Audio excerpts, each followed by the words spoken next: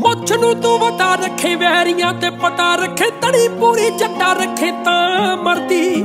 ਕੁੰਦਮਾ ਸਰੀਰ ਤੇਰਾ ਸੀਨਾ ਜਾਵੇ, ਚੀਰ ਮੇਰਾ ਜਾਗਦਾ ਜ਼ਮੀਰ, ਸੱਚੀ ਗੱਲ ਕਰਦੀ। ਦਬਕਾ ਵੇ ਤੇਰਾ ਜੱਟਾ, ਸਦਕੇ ਵੇ ਜੇਰਾ ਜੱਟਾ, ਅੜੇ ਮੂਰੇ ਕਿਹੜਾ ਕੱਢੇ, ਕਿੱਲੇ ਧੋਣ ਚੋਂ। ਉਹ ਹੱਥੋਂ ਵੱਧ ਮਰਦੀਆਂ, ਜਾਨੋਂ ਵੱਧ ਕਰਦੀਆਂ, ਸੱਚ ਦੱਸਾਂ ਡਰਦੀਆਂ, ਤੈਨੂੰ ਖੋਣ ਸੱਚ ਦੱਸਾਂ ਡਰਦੀਆਂ ਤੈਨੂੰ ਖੋਣ